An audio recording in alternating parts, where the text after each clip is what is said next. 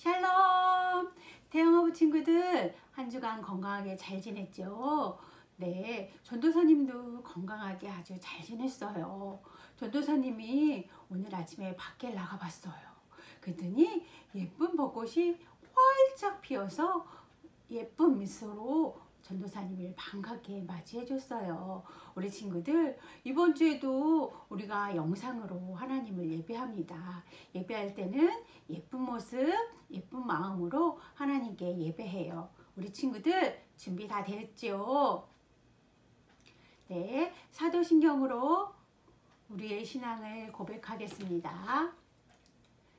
세상을 만드신 하나님을 믿어요. 우리를 구원하신 예수님을 믿어요. 우리를 도우시는 성령님을 믿어요. 부활과 영생을 믿어요. 아멘.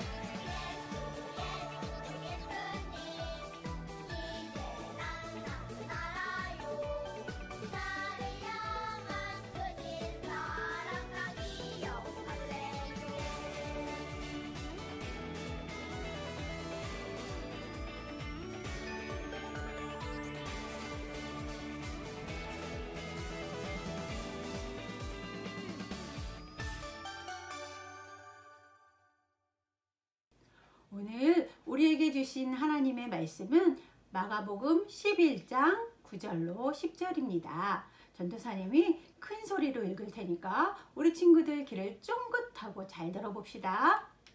예수님 앞에서 걸어가던 사람들과 뒤에서 따라가던 사람들이 소리쳤습니다. 호산나 주님의 이름으로 오신 이가 복이 있다.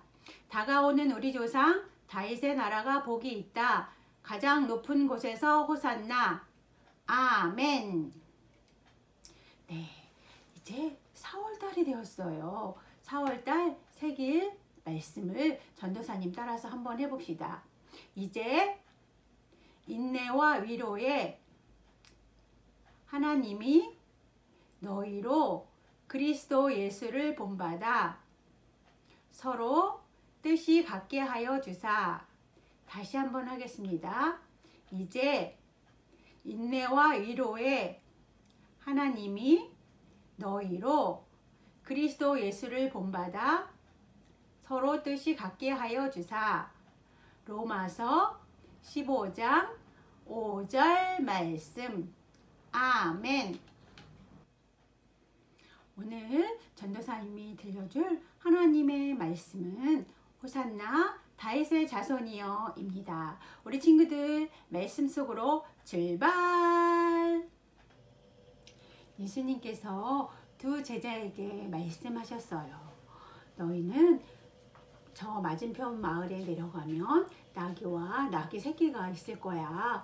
그러면 너희들은 나귀 새끼를 풀어서 내게로 끌고 오렴. 혹시 너희들에게 그것을 왜 가져가시오? 하고 묻는 사람이 있거든. 우리 주님께서 쓰시겠다고 하십니다. 라고 말해라. 그러면 바로 내줄 것이야. 근데 제자들의 표정이 이상하지 않아요? 왜 그럴까요? 우리 친구들 예수님에게 왜 나귀가 필요했을까요? 우리 친구들 아세요? 음, 잘 모르겠다고요? 네, 그것은 옛날 성경에 보면 예언자들이 예언한 말씀을 이루려고 했기 때문이에요. 그래서 예수님에게는 나귀가 필요했던 거예요. 그래서 제자들에게 나귀를 데려오라고 하셨답니다. 제자들은 예수님의 말씀을 따라 건넌 마을로 터벅터벅 갔어요. 근데 깜짝 놀랐어요. 어? 나귀가 있네? 예수님이 말씀하신 그 나귀 새끼가 있어. 제자들은 눈이 휘둥그러지게 깜짝 놀랐어요. 예수님은 제자들이 데리고 온 나귀 새끼를 타고 예루살렘 성으로 들어가셨어요. 근데 그 성에 들어가니까 수많은 사람들이 모여 있는 거예요. 예수님이 오신대. 그 예수님이 죽은 나사로도 살리셨잖아. 그것뿐이야. 네, 아픈 몸도 낫게 해주셨어. 내 눈도 뜨게 해주셨어. 하고 예수님의 칭찬을 하고 자랑을 하기 시작했어요. 그리고 자기들의 겉옷을 벗어서 길에 깔아줬어요. 나귀가 그것을 밟고 지나갈 수 있도록 자기 옷을 벗어서 깔아주고 종려나무 가지를 막 흔들었어요. 이것은 아주 예수님을 대단하게 아주 열렬히 환영하는 인파였어요. 예수님이 나귀를 타고 예루살렘 성에 들어가시자 사람들은 여기저기서 소리를 지르기 시작했어요. 호산나 호산나 다윗의 자손에게 호산나 주의 이름으로 오시는 이여 높은 곳에서 호산나 하고 예수님을 아주 아주 환영했어요. 이렇게 예수님은 초라한 어린 나귀 새끼를 타고 예루살렘에 들어갔어요. 하지만 사람들은 예수님을 호산나 호산나 하며 자기 겉옷을 깔아주고 종려나무 가지를 흔들면서 환영했어요. 그러나 얼마 후에 예수님이 십자가에 못 박혀 죽으시자 사람들은 예수님을 향해서 등을 돌렸어요. 그리고 예수님을 따르던 제자들마저도 각자 뿔뿔이 흩어져서 고향으로 떠나고 말았어요.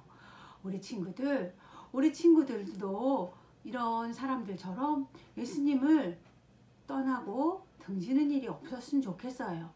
끝까지 예수님을 믿고 바라는 우리 친구들이 되었으면 좋겠어요. 지금 코로나 때문에 우리가 예수님께 예배드리기 어렵잖아요. 근데 앞으로는 더 어려워질 수도 있어요. 그럴 때도 우리가 하나님을 바라보고 하나님을 예배하는 믿음을 끝까지 지키는 우리 태영아부 친구들이 모두 되기를 예수님의 이름으로 축복합니다. 우리 친구들 다 같이 기도하겠습니다. 지혜와 키가 자라가며 하나님과 사람들에게 더욱 사랑받게 해주세요. 하나님, 감사합니다. 많은 사람들이 예수님을 환영하고 찬양했지만 주님이 십자가에서 죽으셨을 때 그들은 모두 예수님을 버리고 떠났습니다. 그러나 우리 태영아부 친구들은 끝까지 예수님을 사랑하고 예수님을 믿고 따르는 믿음의 친구들이 될 수 있도록 도와주세요. 예수님을 더 사랑하는 우리 친구들 될 수 있도록 도와주세요. 한 주간도 건강하게 잘 지낼 수 있도록 지켜주시고 돌봐주세요. 예수님의 이름으로 감사하며 기도합니다. 아멘. 우리 예수님이 가르쳐 주신 기도로 예배를 마치겠습니다. 하늘에 계신 우리 아버지, 아버지의 이름을 거룩하게 하시며 아버지의 나라가 오게 하시며 아버지의 뜻이 하늘에서와 같이 땅에서도 이루어지게 하소서 오늘 우리에게 일용할 양식을 주시고 우리가 우리에게 잘못한 사람을 용서하여 준 것 같이 우리 죄를 용서하여 주시고 우리를 시험에 빠지지 않게 하시고 악에서 구하소서 나라와 권능과 영광이 영원히 아버지의 것입니다. 아멘. 태영아부 친구들 예배 잘 드렸죠? 이번 한 주간은 고난 주간이에요. 예수님께서 우리를 위해서 십자가에 못 박혀 죽으시고 부활하신 그런 날이에요. 그러니까 우리 친구들 일주일 동안 내가 좋아하는 거, 내가 기뻐하는 거 조금만 참고 예수님을 생각하는 그런 한 주간을 보냈으면 좋겠어요. 우리 친구들 그렇게 할 수 있죠? 누구 생각?